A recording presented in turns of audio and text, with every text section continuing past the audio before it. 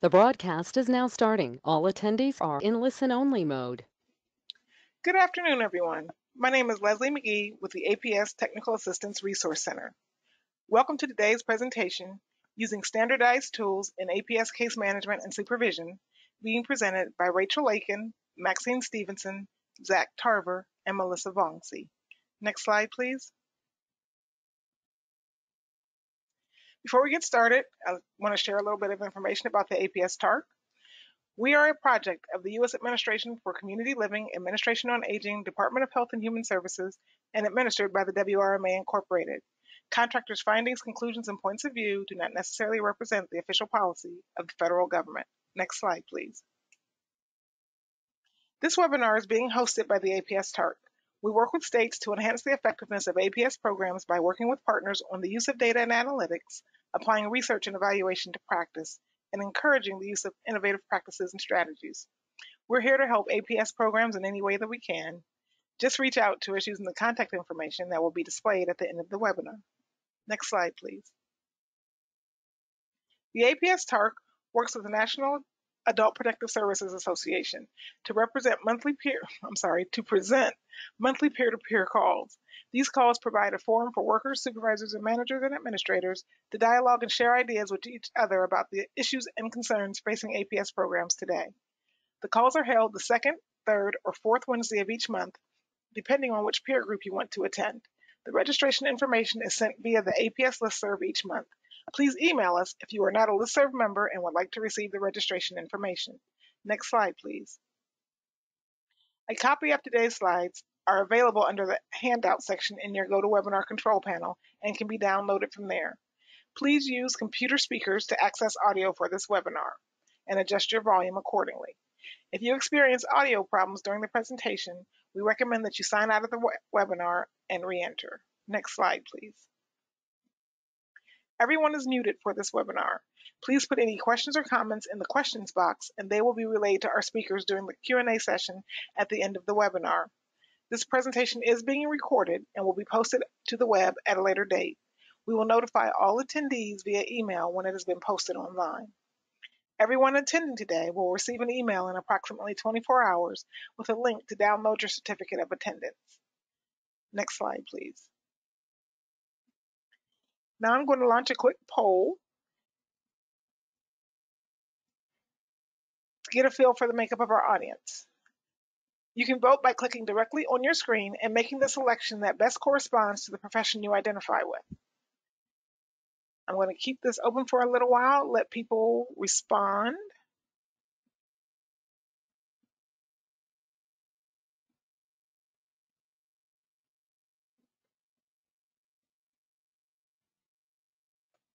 Okay, we're getting response coming in. So just select whatever it is you feel you are most represents you professionally. And I'm going to give it just another couple of seconds here.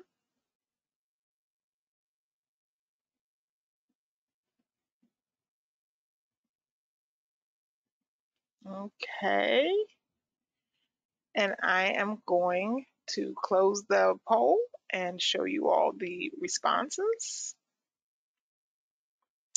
So it looks like the majority of people on with us today are adult protective services professionals with a few other social services professionals and legal people. That's an interesting mix. And now I'm going to go back to our presentation. Next slide, please. As I noted, we have a large slate of speakers today, so I will have them all introduce themselves as they present. At this time, I'd like to turn it over to Melissa Vongsi and allow her to introduce herself.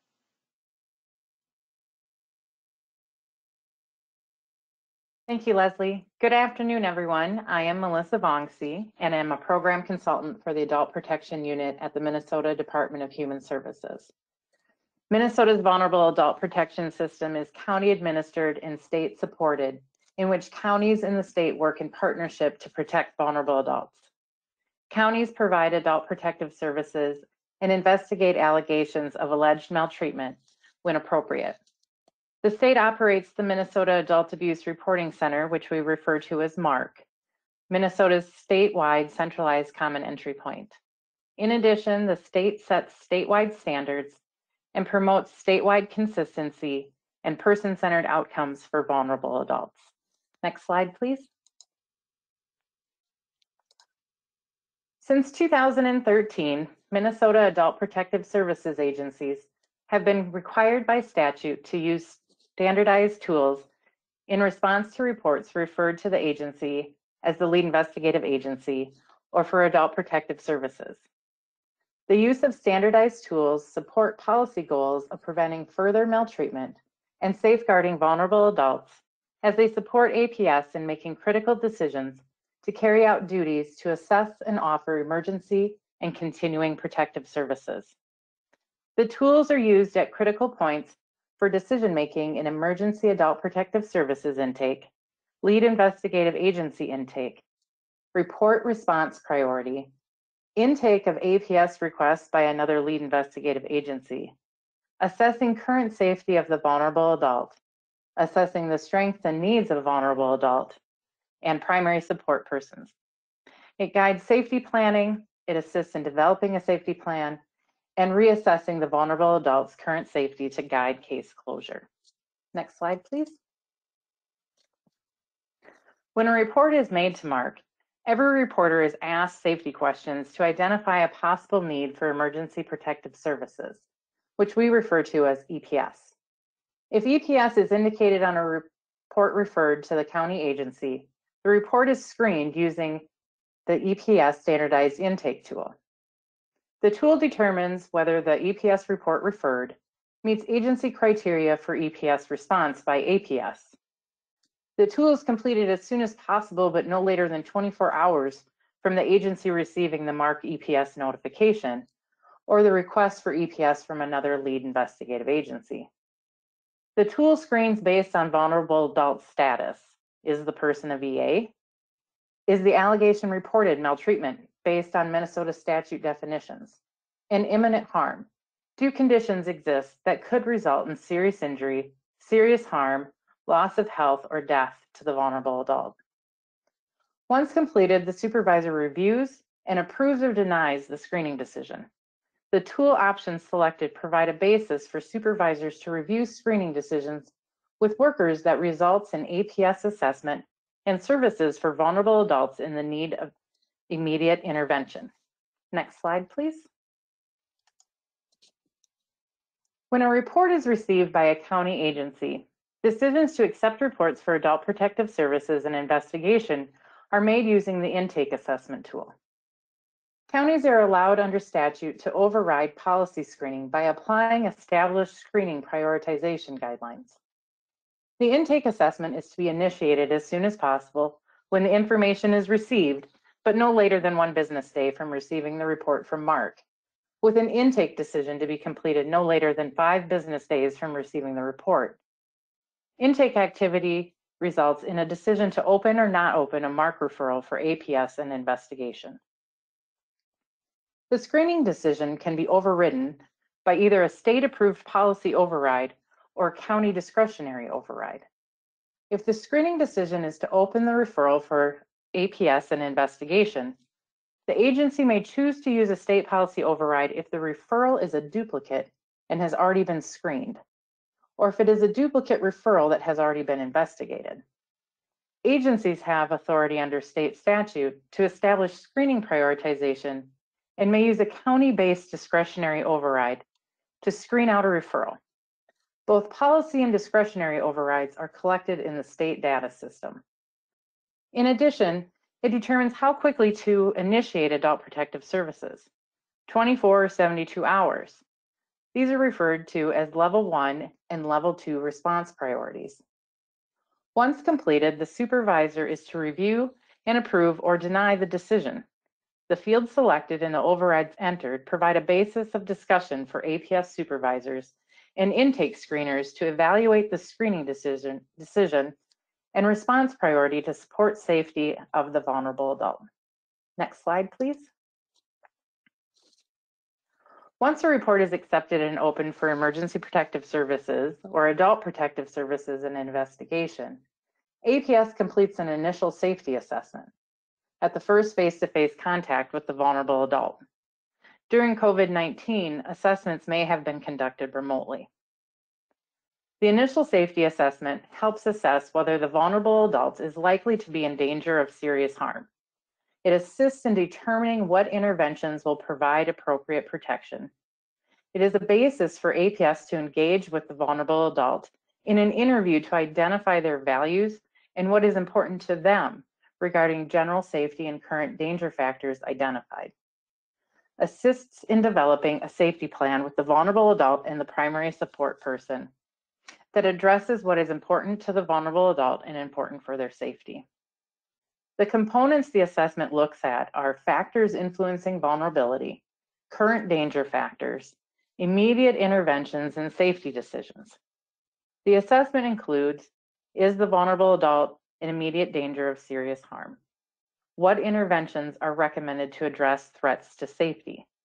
And based on the vulnerable adult and the support person's acceptance of interventions, what is the safety decision? The assessment helps provide a basis for person-centered planning for vulnerable adults and support persons and can help clarify the role of adult protective services for the vulnerable adult. Next slide, please.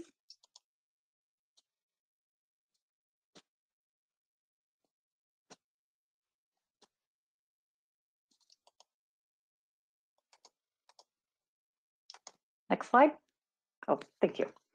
Another tool is the strength and needs assessment and reassessment, which is done concurrently with the initial safety assessment. The tool systematically identifies critical client and primary support person service needs and helps guide service planning. It ensures that all workers consistently consider each strength and need of the vulnerable adult and the primary support person if applicable. In an objective format when assessing need for services. It provides an important service planning reference for workers and supervisors, and it serves as a mechanism for monitoring service referrals made to address identified problems and is a basis for safety planning. This ensures plans are based on assessed needs and strengths. Completing this assessment with the vulnerable adult's primary support person assists the worker in identifying if the support person is able and willing to meet the vulnerable adult's needs, can obtain resources, can problem solve if additional needs emerge, and if the relationship is supportive between the primary support person and the vulnerable adult, and the support person is not financially dependent on the vulnerable adult. Next slide, please. A safety plan must be completed for all vulnerable adults, which are identified in the safety assessment as conditionally safe or unsafe. The safety plan incorporates the recommended safety interventions from the safety assessment and the priority needs identified in the strength and needs assessment. The safety plan is a tool that assists engaging the vulnerable adult and support person. The supervisor reviews and approves or denies the plan, and once approved, it is shared with the vulnerable adult and support person, and they sign and approve also. The assessment tools provide a basis for supervisors to review with workers if the safety plans address assessed needs. Next slide, please. The final safety ass assessment assists in determining if case closure is appropriate based on current danger factors impact, impacting the VA's current safety level. If the vulnerable adult is safe, the case may be closed. If the vulnerable adult is unsafe or conditionally safe, the case should remain open and review of the safety plan interventions and implementation for revision is needed.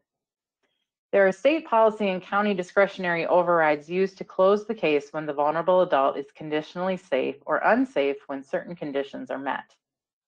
Policy overrides include unable to implement services or safety plan for a vulnerable adult who can make informed decisions Formal services responsible to implement the safety plan are in place to mitigate the risk. County discretionary overrides include there is an agreement in place to implement the safety plan by an informal support system to mitigate risk, or there is a court order denying petition for involuntary intervention, or there's potential harm of involuntary intervention outweighs benefit to the vulnerable adult. Both policy and discretionary overrides involve APS professional judgment. Again, these overrides are only used when all the criteria under which they can be used is met. The final safety assessment and any overrides used, used provide another point for supervisor review at, for, of outcomes from APS interventions on the safety of the vulnerable adult. Next slide, please. In 2018, Minnesota was awarded a federal grant to enhance state adult protective services. Through the grant, in 2020, Minnesota contracted with a consulting company to evaluate the tool outcomes for statewide consistency and equity in service outcomes for vulnerable adults. The post-evaluation findings suggest that there is a significant statewide use of discretionary override among the total sample of the intake assessment tool completions analyzed. Over a third of all incoming APS case referrals are ultimately screened out on the basis of discretionary override. 41% of cases referred to county APS lead investigative agencies would be screened out when strictly following the decision-making logic used in the intake assessment tool. When discretionary override is applied, the statewide screen out rate jumps from 41% to 76% of all cases being screened out. Data and free text entry analysis coupled with qualitative analysis using statewide stakeholder engagement from county APS agencies indicate that many county lead investigative agencies are not using the intake assessment tool as designed. And as a result, the tool is not the primary driver of screening decisions. Minnesota Department of Human Services is currently reviewing the findings and the post-evaluation recommendations provided by the consultants and will be holding presentations on the evaluation and recommendations to Minnesota County APS and stakeholders at a future date. The complete evaluation report of Adult Protective Services Standardized Intake Decision Tool is available on the Minnesota Department of Human Services Adult Protection Partners and Providers webpage. Next slide, please. If you'd like more information regarding the standardized tools used in Minnesota, our contact information is available on the screen. I would just like to say thank you, and I will now pass it on to Rachel. Rachel. Good afternoon, everybody. Uh, my name is Rachel Lake, and I am the uh, administrator for uh, the state of New Hampshire for our Adult Protective Services program. Um, I've worked in APS for 22 years, uh, started as a social worker, and then a supervisor, and about 12 years ago moved into this position as administrator. Uh, next slide, please. Um, and just to give you a little bit of um, just the landscape of New Hampshire, is we are uh, a state-run APS program. All of our um, all of our APS staff um, are state employees. Uh, we have 11 district offices uh, throughout the state. At the time that we started to look at using um, uh, these types of tools, we um, we had 12 district offices. We now have 11. Um, we have uh, currently 37 field investigators. Uh, we, after as along about the same time as using standardized tools, we also developed a central intake, and also a law was passed that we would have a, a, a central registry. Um, so at the time that we were looking at this, what we realized was that we had, you know, um, even though we're a small state and, you know, um, our numbers were relatively small in APS uh, for number of reports each year, um, or um, probably about average for, for our state size, but, but certainly smaller than some of the other jurisdictions out there. But we realized that every office did things just a little bit differently, even though our supervisors all went to the same meetings every month. Um, and so um, it really began to kind of raise questions among us that, you know, why, why is this happening? And so we really delved into, you know, kind of what are the questions? Um, you know, what kinds of reports should be investigated? Uh, what type of report it is, because sometimes there would be um, some of our supervisors that would say, oh, this, we would take this as emotional abuse, where somebody else might say, oh, no, I would, I would take this as neglect um, or that type of thing. Um, how urgent is the situation? Um, is the alleged victim safe? Um, will the case come back? And we had a lot of times we would have those discussions about, boy, this is unfounded, but they're going to be back. And, um, you know, at that time, we didn't really do much with cases that were unfounded. And, um, you know, so as we started to implement standardized tools, we were able to kind of revisit that as to what we should be doing, even if the case is unfounded. Um, how do we develop a case plan? Um, when should I close the case?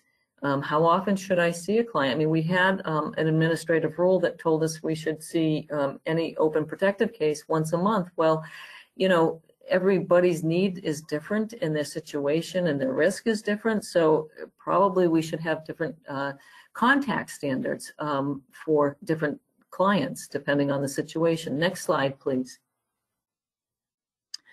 So we were really looking at how can we, you know, provide consistency and, and uniformity in adult protective services. Um, you know, so if a, a report went into uh, office, again, at that time we hadn't formally transitioned to a centralized intake, but if a report had gone into our office up north, would it be handled the same way as if it went into an office in the southern part of the state? And we clearly knew that that probably wasn't happening at that time. We also saw it as a way of modernizing our, our program. Again, like I said, you know, we had limited ability to help um, in situations that were unfounded. Um, so we really wanted to correct that. Um, and that we thought also by using uh, standardized instruments that we would have uh, ability to really look at data and what is data telling us and that we also thought it would be very useful in helping explain to the public um, and to other uh, people, funders, et cetera, um, of what APS is and, and how we go about doing our business. Next slide, please.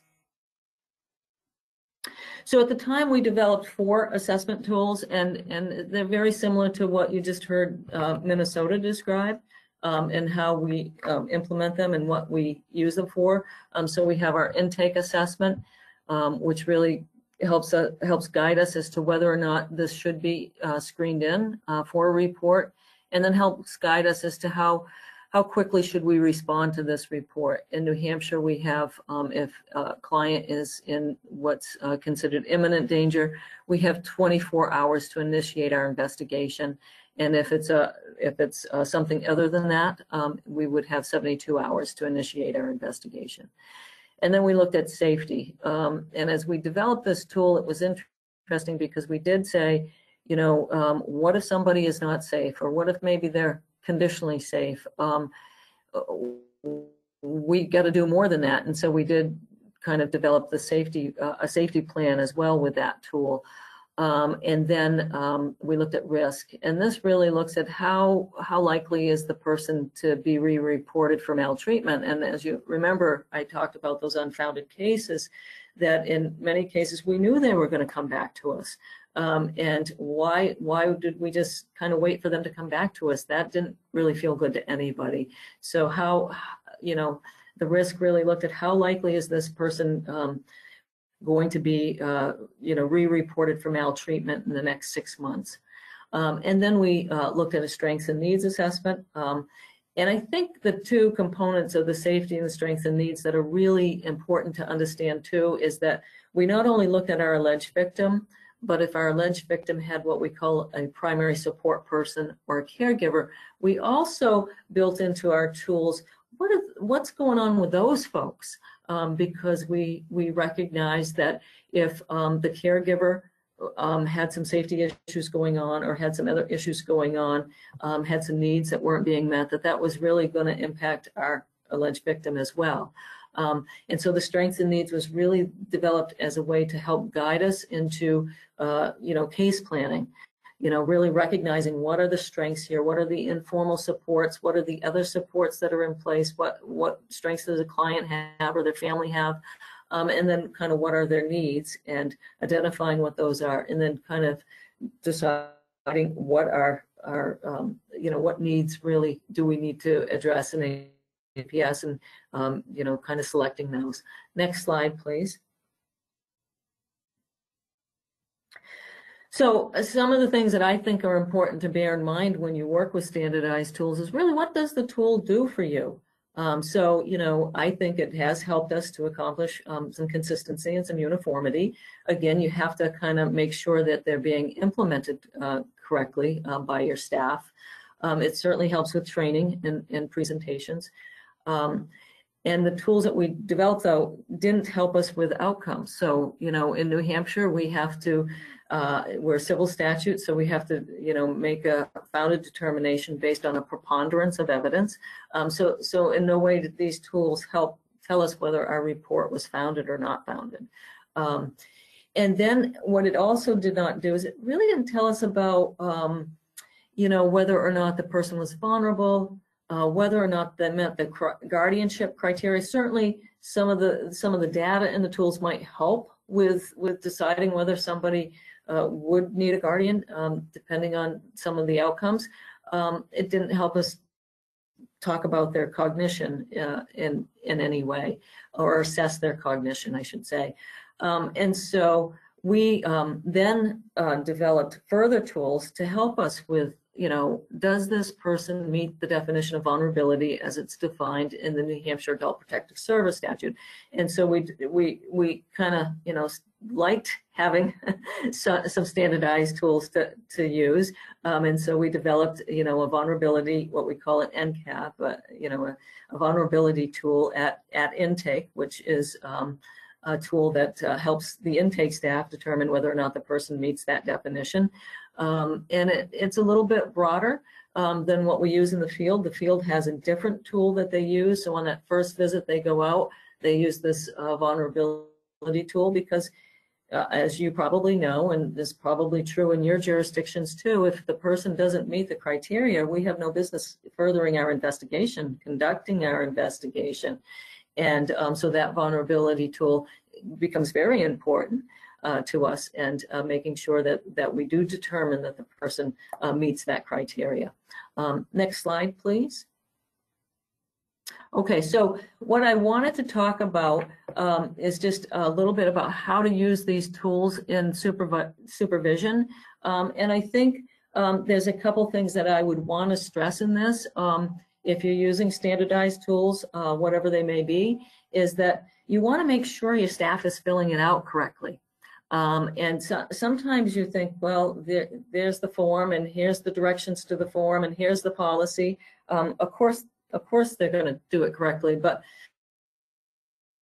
um, you you really want to make sure of that, and you kind of want to make sure that not only initially but ongoing that that um, there's this term that uh, we use that happens sometimes is that there's this definitional drift that can sometimes happen. So I have the form. The form, you know really doesn't have, um, you know, the definitions there, the policy behind it, and and uh, talking about that types of things. Um, and so I think I know what is meant. So I'm going to check no on this form when really I may have should might have should have checked yes because maybe if I went back and looked at the the policy and what this question is really trying to capture, um, I would have checked yes in that in that situation. Um, so you you kind of I, I, feel it's important to stay on top of that. Um, also, early on, um, I had a situation where somebody kept filling out the form and, and we would get these requests that, you know, the case is not going well. We might get that from a community provider or somebody else that knew we were involved and, and I'd start to look at things and all, all the time the safety came out as safe. And I thought, this, this seems, this doesn't seem right. So I went back to the person and said, you know, I'm, I'm interested in, in this case and the safety comes out right, you know, it comes out as the person safe. And then, you know, in this case over here, the same thing. And like I got these big eyes looking back at me and said, well, that's because they weren't safe when I was doing the assessment. So I, I went ahead and, you know, put the things in place that would make them safe. And then I filled out the assessment to reflect that they are now safe which was not the intention of the tool at all, of course. So, so it, you think you've trained people well, um, but just make sure you're checking in on that. I think the other thing that when I'm supervising a case that I like to look at is what came through the door in intake. Um, and as you know, that sometimes we get things that come through the door and they sound horrible. Um, and yet, when we get out there, they're not maybe as bad as they seem. We also get the opposite where it doesn't seem that bad when we get out there and it's, it's oh my goodness. Um, but so as I'm supervising a case and I'm as I'm looking at these standardized tools, I'm always thinking, what did the reporter say? What was the concern that came in? And I'm trying to say, does this does the safety assessment, if it's coming out safe, does that make sense? Um, and um, if it doesn't, I'm going to ask the worker about that. Why? Why does the safety assessment not come out safe? And sometimes it may be because they, in fact, did not fill out the form correctly, and that's that's okay. We, you know, we can work with that. We want to make sure that uh, people understand what they're doing, and that's not going to be punitive in any way. But let's let's have a discussion about this. Or what did you actually see? And they might say, you know, that's not, you know, they were not smoking while they were on oxygen. You know, they don't even they don't even have the oxygen anymore, or whatever the explanation might be. Um, but I want to make sure if I'm signing off on this tool as the supervisor that the person has actually filled that form out correctly. And then if there is a discrepancy, discrepancy, that if, that I understand that discrepancy and that it's, it's documented um, in the case notes as well. Um, so I think that's an important thing as a supervisor. Um, I think also, um, you know, and I know that, um, you know, that there are overrides in our system as well. Um, so if I'm overriding something, why am I really, why am I allowing for this override? Is it a policy override that, you know, because for instance, at intake, um, somebody might screen in as, you know, this is somebody we really need to go out and see immediately. However, they were taken to the hospital um, by ambulance and we knew that. So even though they came in and it looked like it was a level one at that instance, um, it, because they were taken to the hospital, I can comfortably say, yes, this discretionary or this policy override is, is appropriate in this case. Um, so again, I think it's really uh, very important to really kind of think about what these what these instruments are telling you and just how does that make sense with what what you know about the case or what was reported on the case. I think it's also important to understand that these are point in time um, documents and so that, you know, and I think that's the beauty of using standardized tools. And, we use them a lot. We also, you know, use other things to help us uh, with determining whether somebody um, has cognitive decline or not. And so whatever standardized tool we're using, um, if, if it's a point in time, we can go back and do it again and say, boy, last, you know, two months ago, three months ago, they came out as safe or they came out as really no no likelihood of cognitive impairment. But boy, something's different now, three months later, because now, uh, you know, the score looks very different. It's very concerning. And I think that's important to, to uh, you know, be able to, to think about as a supervisor when things are just not going the way you think they should. Maybe we should go out and reassess, um, you know, and um, and that may be well worth your time to do. Um, because it may it may save um, you know a bigger catastrophe later. Um, I talked about the risk assessment a little bit, um, and so that really does talk to us about you know how how likely is the person to be re-reported for maltreatment. Um, but it, so it, it, identifies those indicators that are present that we know that in New Hampshire, this based on research that these are the indicators that are present that that um, say that the person's likely to be re-reported. Um, but um, it didn't really tell us how to mitigate those risks. Um, and so we then developed yet another tool that's called the risk identification and mitigation. Uh, excuse me, I'm going to back up. It's called the risk identification and mitigation plan, which is a, a, a lengthier document um, that we use again a point in time. And it really kind of looks at those risks and what can you really do to mitigate this risk? Um, and, you know, there's some standardized things that you can check um, or you can put something else there too. But that's also very helpful um, to, as a supervisor to see that um, and see how that's coming out. Um, we, of course, we did change our practice in New Hampshire so that even if a case is unfounded, if they came out as moderate or high risk, we were going to open the case and follow them.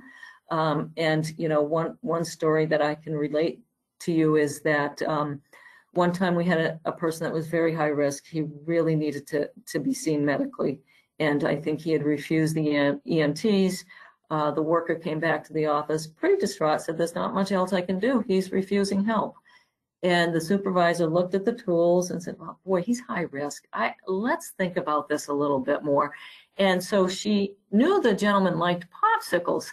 And so she said, I'm going to go visit him. And, and, you know, just happened to, to have that availability to do that. He was pretty close by. And um, so she grabbed a popsicle, got one for herself, went over. They had a popsicle, and by the time they were through eating the popsicle, she was able to convince him to go to the hospital. And it was just that that you know that looking at that tool, looking at the safety, looking at all those things, she thought, well, we just can't accept no here. We have to do something more. Um, so I think um, I think those kinds of things can be helpful, um, you know, to review this and to think, okay, what are the tools really telling us? and what can we do about it? And and sometimes we have to just say, well, okay, we you know we think they should do this, and they're just not going to do it. But at other times, it can help us to to think about, well, what else can we be doing? Um, I'm going to stop there. We're going to turn it over to our next person. Persons. Good afternoon, everyone. My name is Maxine Stevenson with uh, Adult Protective Services, the Center for Learning and Organizational Excellence in Texas. And also I have with me today is Mr. Zach Tarver. Hi, everybody. I'm Zach Tarver. I work with Maxine uh, with Texas APS. I am a trainer developer or develop training. And uh, what I currently work on is rewriting uh, APS's supervisor training. And uh, Maxine and I are going to kind of talk with you today from the standpoint of the standardized tools that we have and how the supervisors can utilize that information to move forward. Uh, if you go to the next slide, please. Um, so, like I said, we're going to review uh, some of the tools that the supervisors have access to. And these, the two tools that we're going to talk about today is our data warehouse and our quality assurance system. Um, Texas is a state-run uh, organization, and we have one computer system called Impact. And all of the information that APS uses goes into this system. Um, a lot of our standardized tools are identicals to the ones from the uh, previous presenters uh, information as far as like safety assessment and those types of things. But again, we wanted to talk about what we do with that information. And so as the worker completes those tools, the information is captured by our data warehouse and our QA system. Um, one of the interesting things about our system is it's, uh, I guess, open source, if you will. Any employee can access any of the information in our data warehouse and QA system. And then that information can be viewed as broadly as you want, as like from a statewide level, or they can uh, filter it down to a district, uh, a county, a city, a unit, and a worker. Um, and then so that's kind of how our presentation is going to go. So Maxine, why don't you take over and talk about the data warehouse? Next slide, please. Thank you, Zach. So as Zach mentioned before, the DFPS data warehouse is the official source for all impact data. So everything that um, is typed into the impact system is captured by the data warehouse. So the data is recorded when the tools are completed by the staff. And supervisors, as Zach mentioned before, supervisors as well as staff can pull these reports from the data warehouse. Um, supervisors can use the information from the reports to identify um, trends within their units. They can identify trends across the state. Um, and they can just identify all these different trends and use this information to um, create action plans that assist with coaching and development of their staff. Um, there are numerous reports in the data warehouse, and I'm just going to name a few of those and kind of tell you all what those are. Um, some of the reports, or one of the reports, is the number of cases are pending cases. And so, what we're looking at with this port, report captures is the number of cases that are open within the month and how many cases are still open at the end of the month.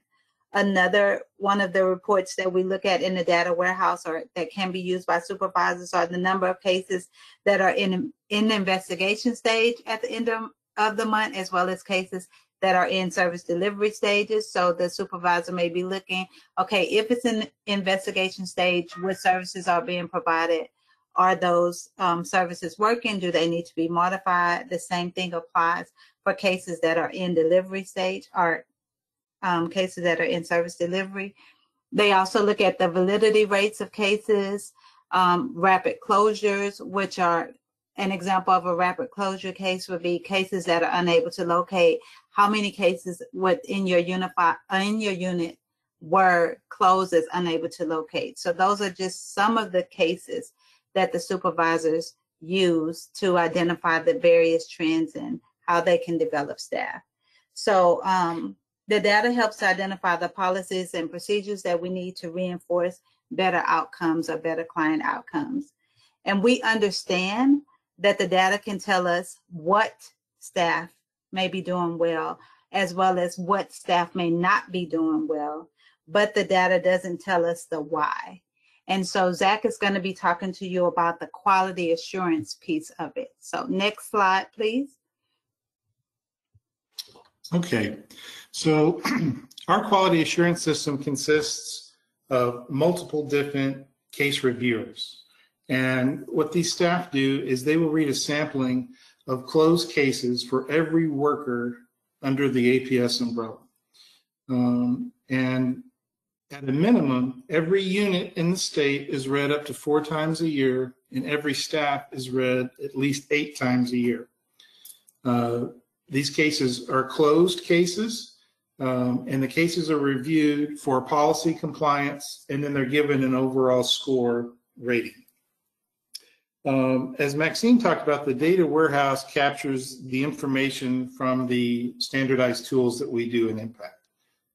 Um, but QA can read for the context and the overall quality that our clients um, have received. For example, maybe the worker didn't speak to a doctor that could have given us some crucial information, or they missed uh, key questions in, interview, in interviewing um, an alleged perpetrator. Uh, the QA can look at, you know, did we solve the initial issues that the client came in with, or at least do the best that we can? Because not everything can be, you know, quantified by a button being pressed. And so that's uh, where our QA side comes in to kind of reinforce that data that's been gathered. And then from the supervisor point of view, they can review the reports to see what direction they need to go. Uh, kind of like Maxine said, they can look at it from their unit and down to the individual person. And so, for example, if they're looking at their unit and you know, seven out of eight people are doing excellent in one measure, but you have one person that's not, then the supervisor can work with that individual to see what it is that they don't understand about policy. Or maybe the supervisor looks at it and their whole unit is kind of off on a certain uh, piece of quality assurance. Then they can reinforce that policy at a staff meeting and talk about how they're going to try to get better with that in the future um, to track those trends to make the progress. Um, and go to the next slide, please. And we also have uh, data analyst positions um, that assist the supervisors and managers as far as kind of filtering down all this data. Uh, because while we were only given a brief amount of time to talk, the amount of data that we have access to is really kind of overwhelming at first until you become used to it. And so these positions are really key to kind of help young supervisors kind of get a grip on what to focus on. And these individuals look at data from a higher level than one unit. And so they can kind of help guide that supervisor as far as at least showing them what's out of line and like Maxine said, just because we see a number that's different, it doesn't necessarily mean that it's bad or good. Um, access to the information that we have doesn't tell us how to solve the issue, but it just makes us aware of areas that need more attention. And uh, having access to this level of information is key to our success. And I think that goes back to uh, kind of what Rachel was saying earlier as far as staff maybe not filling out the assessments correctly, and then going back to see that staff to figure out what it was exactly that you did so that we can fix it going forward. And that's really all that this information gives us. But having access to both um, the data and the quality assurance side helps us see the, the complete case. If you'll go to the next one, please. Um, like I said, I'm Zach Tarver. Uh, you heard Maxine. Here's our information here. Um, you can always contact us if you have any sort of questions. We'd be we'd love to answer. And uh, that's the end of the Texas session. Okay, next slide, please. So we do have a couple of questions for you all. Um, and we have several actually regarding requests for you all to share the tools. Um, two of them just simply said, are you able to share the tools? And a third question request for the tools specifically asked for the quality assurance tools. So if all of each of you could please address that, how people can um, work with you to get a copy of the tools or if access is available. This is Rachel. If you just send me an email, I'll be happy to send you what we have. This is Melissa from Minnesota. Um, as Rachel just said, you can send um, us an email and request that information. Our tools and our policy um, regarding all the tools and their use are available on our webpage on the Minnesota Department of Human Services, um, Adult Protection Partners and Providers. But if you shoot over an email, I'd be happy to get you that link. And this is Zach. I would just echo what they said. Uh, The Texas policies um, online as well. Uh, But if you have specific questions, we can send you more information about the tools that we have and um, how the quality assurance is read and things like that. But if you just contact us, we'll help you out. Thank you. And everyone's contact information is in the handout um, that was available to download, or if you aren't able to get that, just reach out to the TARC and we can make sure that you we put you in touch with all of them. Um, another question I have here um, is I think it's probably for Melissa because um, it came in about the time that you were presenting. How did you identify the situations that would justify the policy overrides, discretionary and policy overrides? And uh, I'll repeat it just um, for clarity. How did you identify the situations that would justify the discretionary and policy overrides?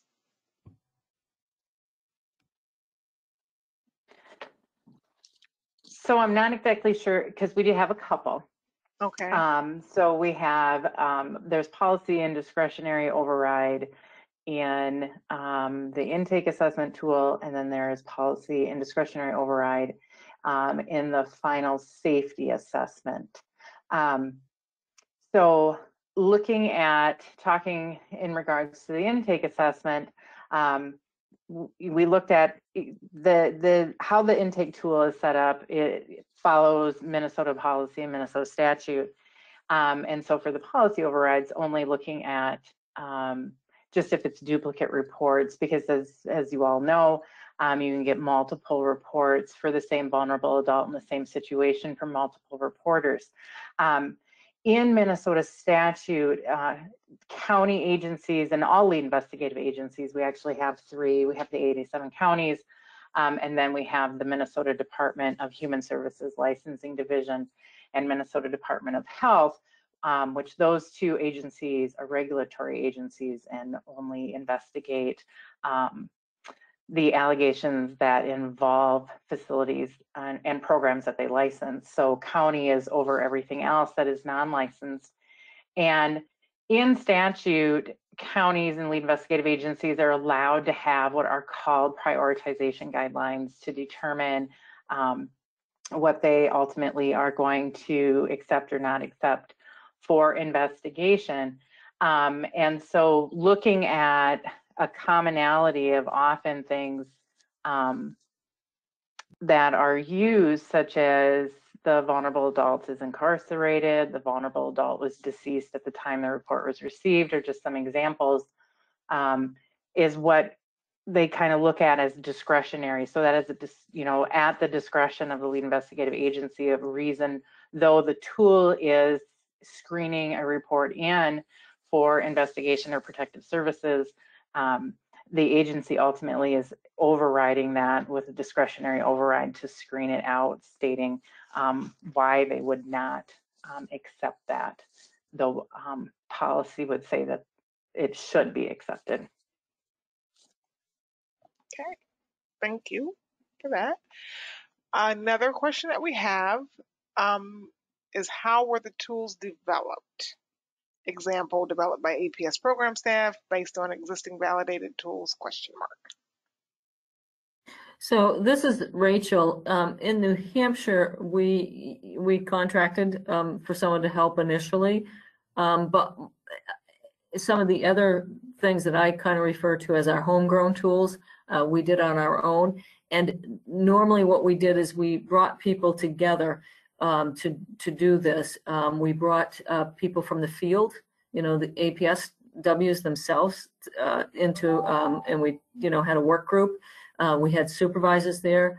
Uh, we had administration participate. We had our policy people. Uh, we had our IT people participate. We had anybody that we thought was going to touch this tool in some way be at the table. And sometimes I, I felt bad for like the IT person because they sat through a lot of discussion that maybe they found interesting, but you know, maybe wasn't wasn't too relevant at the moment for them. But but by doing that, um, I think it was very helpful because everybody knew exactly where we were going and why the final product looked the way that it did. And so I I just think it, and then it also helped with buy-in from the staff. You know that you know, because certainly when we started to look at this, we certainly had staff that said, you know, and, and in New Hampshire, we have a lot of longevity, and we did back then too, that most of our attrition happens through retirement. So we had a lot of people saying, I've been doing this job for 20 years. I don't need a tool to tell me how to do this job. So that's how we brought people together. And um, we kind of, you know, had different people from different corners of the state that kind of would be then the ambassadors, go back and talk with people about it, get their feedback you know, because this was a process. This took a while to develop. Get their feedback. They, then those people would come back to the group and say, "This is what you know." They're saying, you know, out in the western part of the state or whatever. So I thought that that was important. Um, but we we kind of you know took some tools that were out there, you know, like DCYF had some tools, those kinds of things, and then we kind of made them for a, you know, fit for APS, and then we also did what we called New Hampshireize it, you know. So how does it really fit to our law, our rules, those types of things. Any of the other presenters like to speak to that question of how your tools were So- developed? Yes, ma'am. So this is Maxine with Texas. It's similar to what Rachel said. We contracted an agency and we adopted those tools. We wanted to make sure that um, exactly what Rachel said in her presentation. If you were receiving services in Houston or Austin or anywhere across the state, that it was consistency in the way that you received those services. But we did use a um, agency that was contracted, and we adopted those tools. And we now look at the safety of the client. Um, whether or not the cases are valid based upon the risk level of the client. And also, we do what's called that strengths and needs assessment, which looks at the strengths of the client as well as the strengths of the care, um, the caregiver. And we're able to provide services to the caregiver based upon that information. So we did adopt our tools from someone else or contract it from someone else. In Minnesota, um, in 2009, um, uh, Minnesota Adult Protection County Collaborative was formed um, with six counties coming together and working um, with a vendor to customize and implement um, the tools. Okay, thank you all for that. I appreciate it. And then there's one final question, and I want to say it's for um, Rachel because it's regarding the vulnerability tool you mentioned. Sure. Yep. Okay, for clarification, if you go out and the vulnerability tool indicates that the person doesn't meet the definition, are the other tools then not used at all? Is that what you That- your case? That's correct. Now, we don't go out and say, oh, sorry, you're not us, see you later. Um, we, we do not, you know, we do not do the safety, um, thing. I- I- We don't do the risk, uh, you know, we just, we have no authority to continue an investigation. But we do address why we were brought out there and, and talk with the client and say, you know, um, we understand these things are going on, um, and they may or may not be going on. The client may say, yes, they are, or no, they're not. But if they are, these are, these are, you know, we're going to leave them with resources of where they can get help. Um, so, uh, yeah, we, we have to kind of cease and desist at that moment with a formal investigation. But we are going to talk with them and, and try to help them for sure.